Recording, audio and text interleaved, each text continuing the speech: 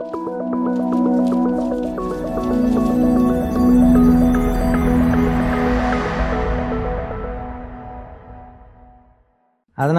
வெற்றி பாடல்கள் எழுதும்போது அதை தொடங்கலாம் அப்படின்னு நான் மாயாண்டி குடும்பத்தார் கோரிப்பாளையம் மிளகான் தொடர்ச்சியாக வெற்றி படங்கள் எழுதிட்டு இருக்கும்போது ஆனால் வாலி அண்ணனும் கவியரசு கண்ணதாசன் அவர்களும் அதை தொடங்கணும்னு ஒரு திட்டம் போட்டிருக்காங்க.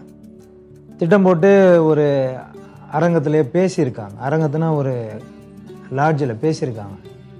காலையில் ஆரம்பித்து சாயங்காலம் கலைஞ்ச ஒரே சங்கம் வந்து பாடலாசிரியர் சங்கமாக தான் இருக்கும். ஆனால் இளையராஜா ஐயா வந்து நிறைய அவருடைய பாடலுக்கு அவரே உரிமை வாங்கி வச்சிருக்காரு. அதனால் அவர் கொடுக்க வேண்டியது நியாயமானது தான். நாங்கள் அதுக்காகவே படித்து அதுக்காக நம்ம- எங்களை வந்து தயார் பண்ணிக்கிட்டு நாங்கள் வந்துட்டு இருக்கோம். நீங்கள் பத்து பல்லவி கேட்டால் கூட நாங்கள் கொடுப்போம். அதில் இருபது சரணம் கேட்டால் கூட கொடுப்போம். அவ்வளோ வந்து இன்புட்டோட தான் நாங்கள் உள்ளே வருவோம். ஆனால் அவங்க எப்படி வந்திருக்காங்கன்னு எங்களுக்கு தெரியாது. ஸ்டெப்பு இது வரைக்கும் எடுக்கல நம்ம. ஓகே அதுதான் நான் சொன்னேன். கலைத்துறை வந்து பொதுவான ஒரு துறை. யார் வேணா எது வேணா பண்ணலாம். அவங்க ஒரு உணர்வு இருந்ததுன்னா நம்ம சங்கத்துல வந்து உறுப்பினர் ஆகலாம். நீங்க எழுத வேணாம்னு சொல்றது நமக்கு உரிமை இல்லை இல்லையா? வந்ததை எழுதிட்டு இருப்பாங்க. ஆனா பாடலாசிரியர்கள் அப்படி இல்லை. தினமும் படிப்பான் அவன். ஒரு நாள் படிக்கலைன்னா அவன் செத்து போயிட்டான்னு நினச்சிருவான் ஒரே ஒரு நோக்கம் தான் இதுக்கு முன்னாடி இருந்த பாடலாசிரியர்கள் யாரும் ஒண்ணா இணைஞ்சு இப்படி ஒரு சங்கமா செயல்படல. ஆனா இப்ப சங்கமா செயல்படுறோம். ஒரு நோக்கம் என்னன்னா எல்லா பாடலாசிரியரும் இந்த சங்கத்துல இருக்காங்க. எல்லாரும் ஒன்றா இருக்காங்க. நாளைக்கு எனக்கு ஏதோ ஒரு பிரச்சனைனா ஒரு பத்து பேர் வந்து நிப்பாங்க.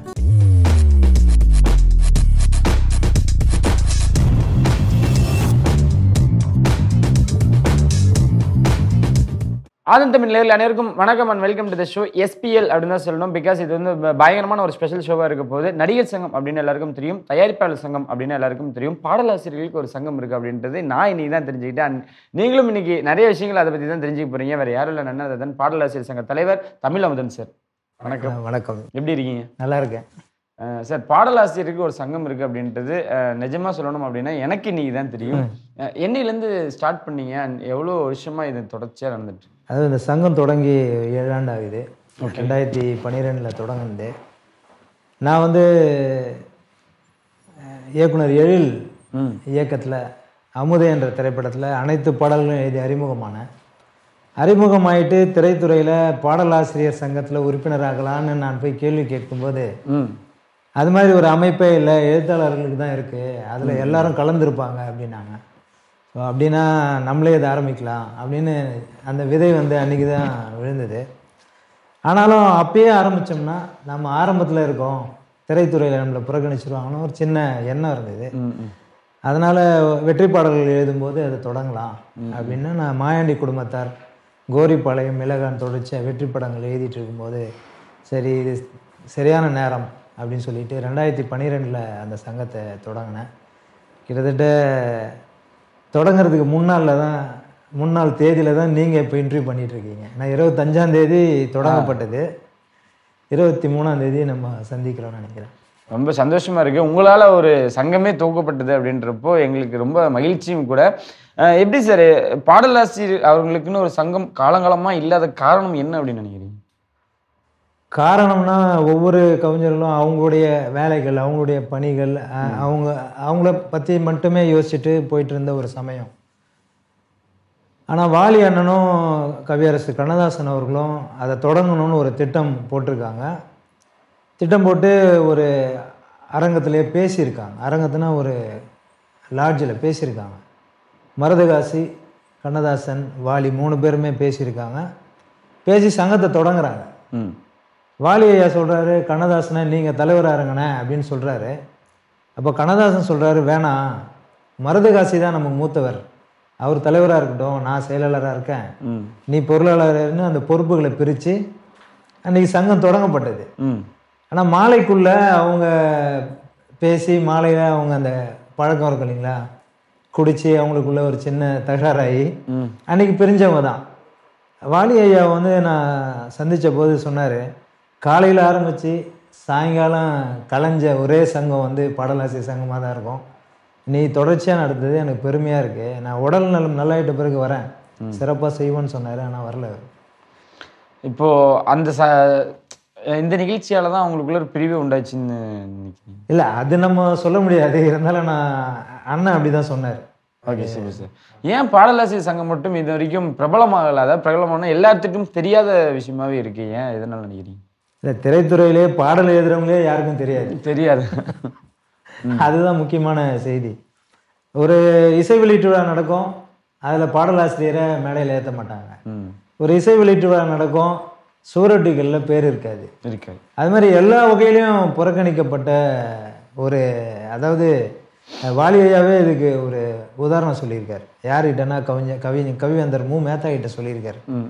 என்னன்னா என்னண்ணா எல்லா இடத்துலையும் நம்மளை புறக்கணிக்கிறாங்கண்ணே அப்படின்னா டேய் நம்ம இந்திய அமைப்பிலே பல சாதி அடுக்குகள் இருக்கு. அதில் வந்து பிற்படுத்தப்பட்டவனை எவனும் சேர்க்க மாட்டான். அது மாதிரி நாம் வந்து சினிமாவில் வந்து பிற்படுத்தப்பட்டவன்டா அதனால் நம்ம அதெல்லாம் கண்டுக்க கூடாதுன்னு சொன்னதா எனக்கு செவி வழி செய்தி கவிவேந்தரே சொல்லியிருக்காரு. அது மாதிரி புறக்கணிக்கப்பட்ட ஒரு சூழல் இருக்கும்போது தான் நாம் ஏன் இதுக்காக எடுத்து நம்ம பாடலாசிரியருடைய உரிமைகளை அது மட்டும் இல்லை பாடலாசிரியர்களுக்குன்னு ராயல்ட்டிலாம் வருது. நமக்கு முன்னாடி இந்த மூத்த கவிஞர்கள் வந்து யாரும் அதை பற்றி பதிவு பண்ணவும் இல்லை. பின்னாடி வந்த இளைஞர்களுக்கு அதை சொல்லவும் இல்லை. அவங்க மாட்டும் வாங்கினாங்க வாங்கிக்கிட்டு அப்படியே அமைதியாக இருந்துட்டாங்க. ஆனால் நான் வாங்கின பிறகு கிட்டத்தட்ட ஒரு நூற்றி ஐம்பது பாடலாசிரியர்களை அந்த ராயல்ட்டி வாங்குற நிறுவனத்தில் சேர்த்து தொடர்ச்சியாக வாங்கிட்டு இருக்காங்க. இப்போ தொடக்க காலத்துலேருந்தே வாலி சாரோட ஸ்டார்டிங் ஸ்டேஜ்லேருந்தே பார்த்தீங்க அப்படின்னா இன்ன வரைக்கும் இந்த பாடல் வரிகள் திருடுறது வந்து இன்னும் அஹ், நிக்கல அப்படின்னு தான் சொல்லணும். வரிகளாகட்டும் எழுத்துக்களாகட்டும். அதை தடுக்க என்னெல்லாம் முயற்சிகள் எடுத்திருக்கீங்க? என்ன பண்ணலாம் அதை தடுக்கலாம் சார்? இல்லை அது வந்து பயன்படுத்துகிறவங்களுக்கே மனசாட்சின்னு ஒன்று இருக்கணும். இருந்தால் அதை வந்து பயன்படுத்த மாட்டாங்க. இன்னொரு என்னன்னா இது ஒரு மறைமுகமான சதித்திட்டம் ஒவ்வொரு பாடல் கம்போசிங்லையும் நடக்கும். இப்போ என்னை வந்து ஒரு படத்துக்கு கூப்பிடுவாங்க. நான் போய் எழுதுவேன். முழு பாடலும் எழுதும்போது அவங்களுக்கு பிடிக்காமல் போயிடும். ஏன்னா வேணாம் நான் வேற கவிஞர்கள் வச்சு எழுதுறேன்னு சொல்லுவாங்களே தவிர அடுத்த கவிஞர்கள்ட்ட போகும்போது இது தமிழமுதன் தான் வந்து எழுதினாருன்னு அதை சொல்ல மாட்டாங்க. வர கவிஞர்களும் என்ன நினைப்பாங்க இசையமைப்பாளர் வந்து எப்பவுமே கம்போசிங் பண்ணும்போதே ஒரு நாலு வார்த்தை சொல்லுவாங்க இல்லை பல்லவி சொல்லுவாங்க. வரவங்க என்ன நினைப்பாங்கன்னா இது வந்து தேனிசை தென்றல் தேவா போட்ட வரிகளாக இருக்கும் இல்லை எஸ் ஏ ராஜ்குமார் அண்ணன் போட்ட வரிகளாக இருக்கும் அப்படின்னு நினச்சிக்கிட்டு தான் அதை எழுதுவாங்க. திருடணுன்றது திட்டம் போட்டு யாரும் செய்யறதில்ல. ஆனால் தெரிய வந்ததுன்னா நம்ம அந்த கவிஞர்களை கூப்பிட்டு நான் தெரியாமல் எழுதிட்டேன். இல்லை இப்படி நடந்துடுச்சு. அப்படின்னு நம்ம வந்து ஒருத்தர் ஒருத்தருக்குள்ள அனுசரணையாக இருந்தால் இந்த சிக்கலை வெளில வர போகிறதில்ல ஏன்னா இப்போ ரீசெண்டாக ஒரு கான்ட்ரேஷன் இருந்துச்சு. இளையராஜா அவர்கள் என்னோட பாடல் வந்து எங்கேயுமே எந்த ஒரு நிகழ்ச்சியிலும் சரி எந்த ஒரு தொலைக்காட்சியிலும் சரி நீங்கள் வந்து என்னோட அனுமதி இல்லாமல் நீங்கள் இது பண்ணக்கூடாது. அப்படி நீங்கள் பாடினாலோ இல்லை யூஸ் பண்ணாலோ எனக்கான பைசா நீங்கள் தொகையை வந்து எனக்காக செலுத்தணும் அப்படின்ற மாதிரி சொல்லியிருந்தாரு. ஆனால் அந்த பாடலுக்கு ஒரு சாங்குக்கு வந்து உயிர் அப்படின்னாலே அந்த எழுத்துக்கள் தான் பாடல் வரிகள் தான். ஏன் அப்போ நீங்க நினைச்ச என்ன வேணா செய்யல நீங்க தான் இல்லை நாங்களும் வந்து இப்போ நான் கூட இந்த காவேரி தொலைக்காட்சியில் இது சார்ந்து ஒரு விவாத மேடை வச்சாங்க. இப்போ தினா இசையமைப்பாளர் தினா தான் இப்போ இசைக்கலைஞர்கள் சங்கத்துடைய தலைவர். அவர்கிட்ட தான் இசைஞானி வந்து ஒப்படைச்சிருக்கார். நீங்கள் வந்து என்னுடைய அந்த கச்சேரியில் நடக்கிற அந்த காசெல்லாம் நீங்கள் வாங்குங்க. எனக்கு ஒரு இத்தனை சதவீதம் கொடுத்துருங்க சங்கத்துக்கு இத்தனை சதவீதம் கொடுத்துருங்கன்னு சொல்லியிருக்காரு. அது சம்பந்தமான அந்த விவாத மேடையில் நான் சொன்னேன் நீங்கள் வா இசைஞானிக்காக வாங்குகிற அந்த காசில் பாடலாசிரியர்களுக்கும் நீங்கள் பங்கு கொடுப்பீங்கன்னு நான் நினைக்கிறேன்னு ஒரு சின்ன வேண்டுகோள் வச்சேன். சமீபத்தில் கூட யுகபாரதி என்கிட்ட பேசினார். பேசி நம்ம ஒரு கடிதம் எழுதி கொடுப்போம் ம், இசைக்கலைஞர்கள் சங்கத்துக்கு அப்படின்னா அதுக்கான நடவடிக்கைகளும் எடுத்துக்கிட்டு இருக்கோம். ஆனால் இளையராஜா ஐயா வந்து நிறைய அவருடைய பாடலுக்கு அவரே உரிமை வாங்கி வச்சிருக்காரு. அதனால் அவர் கொடுக்க வேண்டியது நியாயமானது தான் ஆனால் இப்போ நீங்கள் கேட்குறீங்க பாடலாசிரியர் சங்கம் வந்து இப்போ தான் தெரிய வருது அப்படின்னு. இதே பாடலாசிரியர் சங்கம் பாடலாசிரியர்களுக்காக மட்டும் இல்லை இசையமைப்பாளர்களையும் நான் வந்து அந்த ராயல்டி கம்பெனியில் சேர்த்துருக்கேன். கிட்டத்தட்ட இப்போ இருக்கிற சத்யா ஆர்கே சுந்தர் சின்ன சின்ன இசையமைப்பாளர்கள் கிட்டத்தட்ட ஒரு பன்னெண்டு இசையமைப்பாளர் நான் சேர்த்து விட்டு அவங்களும் வாங்கிட்டு இருக்காங்க. ஆனால் மூத்த இசை கலைஞர்களோ இல்லை மூத்த பாடலாசிரியர்களோ இதை சொல்லலைன்றது தான் எங்களுக்கு மிகப்பெரிய வருத்தம். அது இளையராஜா ஐயா மூலமாக இப்போ வெளியில் வந்ததுனால பொதுமக்களுக்கு வந்து தெரிய வருது. இப்படி ஒரு உரிமை இருக்குது அப்படின்ட்டு. இப்போது நிறைய பாடலாசிரியர் வந்து நிறைய எக்ஸ்பீரியன்ஸ் ஆனவங்க தான் நிறைய பேர் இருக்காங்க. ஆனால் வந்து அப்கமிங் நியூவாக வரவங்களுக்கு வந்து சேல்ரி அப்படின்றது வந்து ஒரு கேள்விக்குறியாகவே இருக்குது அவங்களுக்கான ஊக்கத்தொகை கரெக்டாக போகுதுன்னு நினைக்கிறீங்களா? இல்லை இல்லை இவங்க இன்னும் கரெக்டான இல்லை அதுக்காக தான் நாங்கள் ஒரு திட்டம் கொண்டு வந்தோம். என்னன்னா நம்ம சங்கத்தில் இருக்க புதிய இசை பாடலாசிரியர்கள் வந்து பாடல் எழுதுறீங்கன்னு சொன்னால் ஒரு தகவல் கொடுங்க. அப்படி இல்லையா? நீங்கள் உங்களுடைய இமெயிலில் அனுப்புங்க. இல்லைன்னா வாட்ஸ்அப்பில் அனுப்புங்க. அதுக்கு ஒரு காப்பியை வந்து பாடலாசி சங்கத்துக்கு அனுப்புங்க. நாளைக்கு அவங்க உங்கள் பேர் போடலை இல்லை உங்கள் பாடலில் பயன்படுத்தலைன்னா அவங்க பொய்யான வார்த்தைகளை சொல்ல முடியாது. நம்ம ஆதாரப்பூர்வமாக அதை கேட்கலாம். ஏற்கனவே வந்து ரெண்டு கவிஞர்களுக்கு வந்து தொகை தரலன்னு நான் கேட்டு வாங்கி கொடுத்துருக்கேன். அதெல்லாம் நம்ம வெளியில் சொல்கிறதில்ல ஏன்னா நம்ம யாருக்காக நம்ம அதை கேட்குறோன்னு சொன்னோமோ அந்த பாடலாசிரியர் வந்து நாளைக்கு பாதிக்கப்படலாம். இவங்க பிடிக்காத அந்த இசையமைப்பாளரோ இல்லை இயக்குனரோ நேராக போய் இது மாதிரி அந்த கவிஞர் என்கிட்ட தகராறு பண்ணிட்டாரு வாய்ப்பு கொடுக்காதீங்க அப்படின்னு சொல்லக்கூடிய சூழல்லாம் இருக்குது அதனால் அந்த கவிஞர் பாதிக்கப்படக்கூடாதுன்றதுக்காக நாங்கள் அதை பெருசாக பண்ணிக்கிறது இல்லை ஆனால் எங்களுக்கு அந்த தகவல் வந்ததுன்னா அதுக்கான நடவடிக்கையை கட்டாயமாக செய்வோம். இந்த மாதிரி நிறைய விஷயங்களுக்காகவும் பார்க்க வேண்டியதாக இருக்குது அப்படின்றீங்க. ரொம்ப சூப்பர் சார் நெக்ஸ்ட் விஷயம் என்ன அப்படின்னு பார்த்தீங்கன்னா இப்போ வந்து ஒரு மியூசிக் டைரக்டர் வந்து ஹீரோவாக நடிக்கணும் அப்படின்னா நடிகர் சங்கத்தில் ஃபஸ்ட் ஜாயின் பண்ணணும். ஒரு படம் ஆக்ட் பண்ணாலும் சரி ஜாயின் ஆக்ட் பண்ணதுக்கப்புறமும் ஜாயின் பண்ணலாம். அதே போல் ஒரு மியூசிக் டைரக்டர் ஆகட்டும் மியூசிக் டைரக்டராக ஹீரோ வந்தாலும் சரி அவங்களும் இந்த மாதிரி சங்கத்தில் உறுப்பினர் ஆகணும். ஆனால் இப்போ இருக்கிற சுச்சுவேஷனில் ஒரு மியூசிக் டைரக்டரும் பாடல் அஹ், தயாரிப்பாளரும் பாடல் எழுதுறாங்க. டைரக்டரும் பாடல் எழுதுறாரு. முக்கால்வாசி ஹீரோஸே எழுத ஆரம்பிச்சிட்டாங்க. இவங்களெல்லாம் நீங்கள் எழுதுறப்போ அவங்களுக்குலாம் நீங்கள் எப்படி பார்க்குறீங்க அதுவும் இல்லாமல் நம்ம சங்கத்தில் வந்து என்னைக்காவது ஒரு ரெக்வஸ்ட் வச்சுருக்காங்களா? அதாவது ஒரு விஷயம் தான் நம்ம பார்க்கணும். என்னென்னா பாடலாசிரியர்கள் வந்து தொழில்முறை பாடலாசிரியர்கள். அவங்க வந்து அதுதான் வாழ்க்கைன்னு எழுதிட்டு இருக்கவங்க. ஒரு இயக்குனர் எத்தனை படத்துக்கு எழுதிடுவார்? அவரோட படத்துக்கு அவ்வளவுதான். அவங்க உங்க படத்துக்கு எழுத ஆரம்பிச்சிடறாங்க எல்லா- எல்லாருமே. அது கூட நிறைய எழுத முடியாது. ஏன்னா நாங்கள் அதுக்காகவே படித்து அதுக்காகவே நா- நம்ம எங்களை வந்து தயார் பண்ணிக்கிட்டு நாங்கள் வந்துட்டு இருக்கோம் நீங்கள் பத்து பல்லவி கேட்டால் கூட நாங்கள் கொடுப்போம். அதில் இருபது சரணம் கேட்டால் கூட கொடுப்போம். அவ்வளோ வந்து இன்புட்டோட தான் நாங்கள் உள்ளே வருவோம்.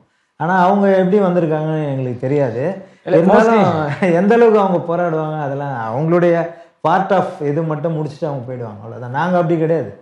காலங்காலமாக இருந்துகிட்டே தான் இருப்போம் அது இல்லைன்னா உங்களோட ப்ளே அவங்க எடுக்கிறாங்க அப்படின்றப்போ நீங்கள் எதுவும் ஸ்டெப் எடுக்க மாட்டீங்களா? அப்படின்ற ஒரு கொஸ்டின் எழுதுது இல்லை? ஏன்னா இப்போ ஓப்பனிங் பேட்ஸ்மேனுக்கு பதிலாக இப்போ டோனியோ இல்லை அந்த- ஆர்டரில் சொல்கிறேன் வந்து கலைத்துறை வந்து எல்லாருக்கும் சொந்தமானது. நீ வந்து இப்போ இசையமைப்பாளர் வந்து இயக்குனர் ஆயிட்டாரு. ஆ. அஹ் அதே இசையமைப்பாளர் வந்து நடிகர் ஆகிறாரு. ஆ. அப்போ அவங்க வந்து தகராறுலாம் பண்ண முடியாது. ஒன்றும் இல்லை ராதாரவி அண்ணன் வந்து நானும் ஒரு நிகழ்ச்சியில் கலந்துக்கிட்டோம். அதில் ஒரு பெரிய நடிகர். அவர் வந்து ஒரு நாலஞ்சு படம் நடிச்சிருக்காரு வந்து கலந்துக்கிறாரு. மேடையிலே ராதாரவி அண்ணன் கேட்டார் டேய் நீ நாலு படம் நடிச்சிட்டல இன்னும் நீ சங்கத்திலே உறுப்பினர் ஆகல. சீக்கிரம் வந்து உறுப்பினர் ஆகி. அதுதான் அது மாதிரி நாங்க கேட்டுட்டு தான் இருக்கோம். அது வந்து என்னன்னா பொது வெளியில கேட்காம நாங்க நேர்ல சந்திக்கும் போது நீங்க உறுப்பினர் ஆகலாமே. ஏன் நீங்க தனியா இருந்து எழுதிட்டு இருக்கீங்க? எங்களுக்கும் ஒரு அது உபயோகமா இருக்குமே அப்படின்னு சொல்லிட்டு. அது மட்டும் இல்லை இப்போ நிறைய இயக்குனர் இசையமைப்பாளர் எல்லாருக்குமே ஒரு பெரிய விழிப்புணர்வு வந்து புதுசா வர பாடலாசிரியர்லாம் முதல்ல போய் உறுப்பினர் ஆகுங்க அப்புறமா நீங்க வாங்க. அப்படிதான் இப்போ நிறைய பேர் வந்துட்டு இருக்காங்க. அதான் இப்போ அப்கமிங் நீங்கள் பாடலாசிரியர் பற்றி பேசுகிறப்ப தனுஷ் ஆகட்டும் சிம்பு ஆகட்டும் எஸ்கே ஆகட்டும் அனிருத் ஆகட்டும் எல்லாருமே எழுத ஆரம்பிச்சிடறாங்க இப்போ ஹீரோஸ் முக்கால்வாசி அவங்கவுங்களோட படத்துக்கு அவங்க எழுதுனாங்க அப்படின்னா பாடலாசிரியரோட ஸ்ட்ரென்த் ஆகட்டும் அவங்களோட ப்ளே ஆகட்டும் கம்மியாக இருக்க மாதிரி ஃபீல் ஆகுது. ஸோ அதுக்கு நீங்கள் என்ன ஸ்டெப் எடுத்திருக்கீங்க அப்படின்னு ஸ்டெப்பு இது வரைக்கும் எடுக்கல நம்ம. ஓகே அதுதான் நான் சொன்னேன். கலைத்துறை வந்து பொதுவான ஒரு துறை. யார் வேணா எது வேணா பண்ணலாம். அவங்க ஒரு உணர்வு இருந்ததுன்னா நம்ம சங்கத்துல வந்து உறுப்பினர் ஆகலாம். நீங்க எழுத வேணாம்னு சொல்றது நமக்கு உரிமை இல்லை இல்லையா? சூப்பர் சார் ஏன்னா மற்ற சங்கம் மாதிரி ப்ரெஷர் பண்ணாமல் ஆ ப்ரெஷரே வேண்டியதில்லை. நீங்க எதுக்கு தேவையில்லாத ஒரு ப்ரெஷர் நாளைக்கே நான் வந்து ஒரு அனிருத் கிட்ட போயிட்டு நம்ம சங்கத்துல இருந்து ஒருத்தர் இருக்காரு. அவர் பேட்டையெல்லாம் இப்போ எழுதியிருக்காரு. அனிருத் மூலமா தான் எழுதியிருக்காரு. அதே அனிருத் வந்து பாட்டும் எழுதியிருக்காரு. அதே இந்த தம்பிக்கும் வாய்ப்பு கொடுக்குறாரு. நான் போய் தகராறு பண்ணேன்னு வச்சுங்களேன் இந்த தம்பிக்கும் வாய்ப்பு இல்லாமல் அவங்களுக்கும் வாய்ப்பு இல்லாமல் எதுக்காக அந்த சிக்கல்? வேணும்னா அனிருத்தியோ இல்லை தனுஷோ நீங்கள் வந்து சங்கத்தில் உறுப்பினர் ஆகுங்க அப்படின்னு நம்ம கேட்கலாம். அது வந்து ஒரு நியாயமானது.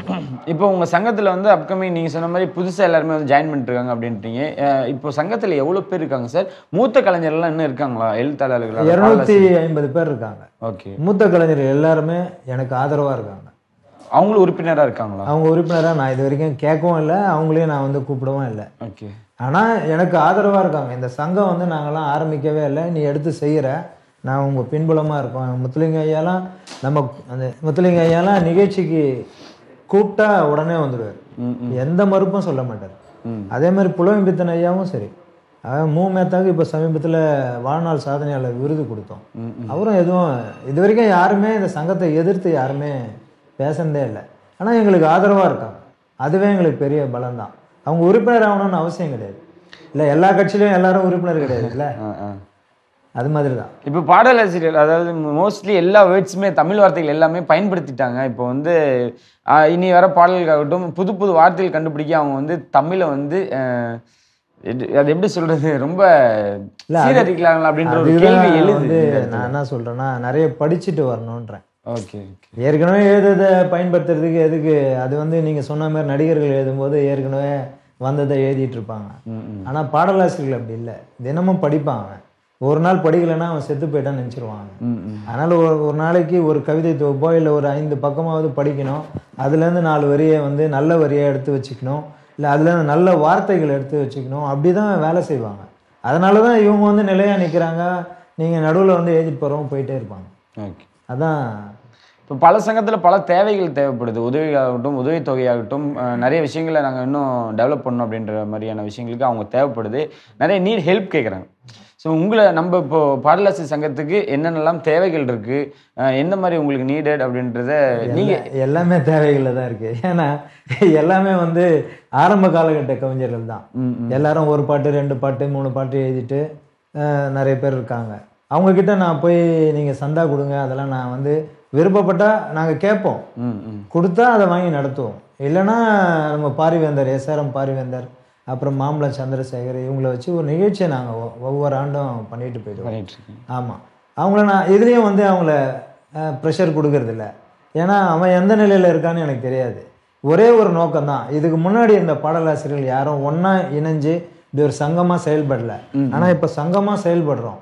ஒரு நோக்கம் என்னன்னா எல்லா பாடலாசிரியரும் இந்த சங்கத்தில் இருக்காங்க. எல்லாரும் ஒன்றா இருக்காங்க. நாளைக்கு எனக்கு ஏதோ ஒரு பிரச்சனைனா ஒரு பத்து பேர் வந்து நிற்பாங்க இப்போ அந்த இதை வந்து நாங்கள் செஞ்சிட்டு இருக்கோம் புதுசாக ஒரு இசை வெளி நடக்குதுன்னு சொன்னால் அந்த இசை வெளியீட்டு விழாவுக்கு நாங்கள் ஒரு பத்து பேர் போவோம். போய் அந்த பாடலாசிரியரை மேடையில் ஏற்றலைன்னா நாங்களே பிஆர்ஓவை கூப்பிட்டு அந்த கவிஞரை மேலே ஏற்றுங்கன்னு சொல்லுவோம் மேடையில். ஏற்றலைன்னு சொன்னால் நாங்கள் மேலே ஏறிடுவோம். ஏறிட்டு அந்த கவிஞரை கூப்பிட்டு இந்த படத்தில் இவர் தான் பாட்டு எழுதியிருக்காரு சொல்லி நாங்கள் ஒரு மாலையோ இல்லை பொன்னாடியோ போத்திட்டு நாங்கள் கீழே வந்துடுவோம் சூப்பர். நாங்கள் அவங்களுக்கும் ப்ரெஷர் கொடுக்க மாட்டோம். எங்களுடைய உரிமை என்னவோ அதை எந்த வகையில் நியாயமான முறையில் பண்ண முடியுமோ அதை பண்ணிட்டு இருக்கோம். படத்துக்கு உண்டான இம்பார்ட்டன்ஸ் அவங்களுக்கு உண்டான ஸ்கில்ஸை வந்து அவங்களுக்கு தேவையான தேவையானதை நாங்களே. உருவாக்குறோம். அதனால இப்போ என்ன ஆச்சுன்னா கட்டாயமாக மேலே ஏற்றணும் அப்படின்ற ஒரு சூழலை சூழல் ஏற்படுத்தி வந்துருச்சு அப்படின்னு சொல்லலாம். சார் ஃபைனலாக ஒரு கொஸ்டின் பாடலாசி சங்கத்தில் இணையத்துக்கு என்னென்னலாம் தேவைகள் அதுக்குண்டான இப்போ சேரணும் அப்படின்னா இவ்வளோ ஊக்கத்தொகை அதாவது இவ்வளோ தொகை தேவை அப்படின்னு இப்போ சேர்றதுக்காக மூவாயிரத்தி ஐநூறுரூவா நிர்ணயிச்சிருக்கோம். ஓகே சார் அது இல்லாமல் அவங்களுடைய அடையாள சான்றிதழ் முகவரி சான்றிதழ் ரெண்டு புகைப்படம். அது எடுத்துகிட்டு வந்தாங்கன்னா போதும். ஒருவேளை அவங்க மூவாயிரத்தி ஐநூறுரூவா கட்ட முடியல என்னால் ஆயிரம் ரூபாய் தான் கட்ட முடியும்னா நீங்கள் கட்டிடுங்க. எப்போ முடியுதோ அப்போ கொடுங்க. இதுதான் நாங்கள் வந்து அதான் சொல்கிறோம் நாங்கள் எந்த வகையிலையும் வந்து கட்டாயப்படுத்த பாடலாசிரியர்களை வந்து அஹ், துன்பப்படுத்தி இந்த சங்கம் நடத்தணும்னு அவசியம் இல்லை. ஆனால் நாளைக்கு இங்கே இருக்கிறவன் ஒரு பெரிய பாடலாசிரியர் ஆகும்போது அவனே வந்து எங்களுக்கு உதவி செய்யும் இப்போ பேட்டையில் சொன்னேன் இல்லைங்களா கு கார்த்திக் எழுதியிருக்காப்புல. நம்ம ஏதாவது உதவினா உடனே ஓடி வந்து செய்வாப்புல. அதே போல் கெத்தில் வந்து சிறுகாய் சிற்பி எழுதியிருக்காரு. அவரும் ஏதாவது ஒன்றுனா உடனே வந்து செய்வார். அது மாதிரி யார் யாரெல்லாம் இப்போ அப்கமிங்கில் முன்னணியில் இருக்காங்களோ அவங்களும் நம்ம கேட்டால் உடனே செய்வாங்க. ஏன்னா நான் எ- எதுக்குமே அவங்கள போய் கட்டாயப்படுத்துறது இல்லை அவங்களால முடியலனாலும் விட்டுருவேன். அடுத்த விஷயத்துக்கு போயிடுவேன். Okay sir thank you and short and ஸ்வீட்டாக பாடலாசிரியர் சங்கம் அப்படின்னா என்ன? அதில் எத்தனை உறுப்பினர்கள் இருக்காங்க? யா யார் யாரெல்லாம் உறுப்பினராக சேரணும்? எப்படி சேரணும்? Uh, அப்படின்ற விஷயத்தை இவ்வளோ நேரம் எங்களுக்காக எக்ஸ்பிளைன் பண்ணது ரொம்ப தேங்க்ஸ் இது கண்டிப்பாக உங்களுக்கு வந்து நல்ல யூசேஜாக இருக்கும்னு நினைக்கிறேன். ஏன்னா நான் சொன்ன மாதிரி தான் இந்த என்ன மாதிரி பல பேருக்கு தெரியாமல் இருந்தது. இதன் மூலமாக அவங்களுக்கு தெரியறதுக்கு இது ஒரு வாய்ப்பு. அஹ், தமிழமுதன் சார் உங்களுக்கு ரொம்பவே தேங்க்ஸ் மறுபடியும் சொல்கிறேன் பாடலாசி சங்கம் மீண்டும் மென்மேலே நிறைய விழாக்கள் நடத்தணும். அதுக்கும் நாங்கள் தான் வந்து உங்கள்கிட்ட இன்டர்வியூ பண்ணணும் அப்படின்னு சொல்லிட்டு ரொம்ப தேங்க்யூ சார் எங்கள் ஆதன் தமிழர்களுக்கு நீங்கள் எதாவது சொல்லணும் ஆசைப்பட்டீங்க கட்டாயமாக ஆதன் தொலைக்காட்சி நேயர்களுக்கு வந்து என்னுடைய நன்றியும் வணக்கமும். அதாவது தம்பி முரளி சொன்ன மாதிரி இன்னைக்கு தான் தெரிய வருது அப்படின்னு சொன்னார். அதே மாதிரி நேயர்களும் இன்னைக்கு தெரிஞ்சிருந்தாங்கன்னா பாடல் எழுதுகிற எல்லாருக்கும் சொல்லுங்கள் சங்கத்தில் வந்து உறுப்பினர் ஆகணும். அவங்களுடைய உரிமைகளை மீட்டெடுக்கணும். அந்த வேலைகளை நாங்கள் தொடர்ந்து செய்வோம். இந்த வாய்ப்பு தந்த ஆதன் தொலைக்காட்சி நிறுவனத்துக்கும் நேயர்களுக்கும் என்னுடைய நன்றியும் வணக்கமும்.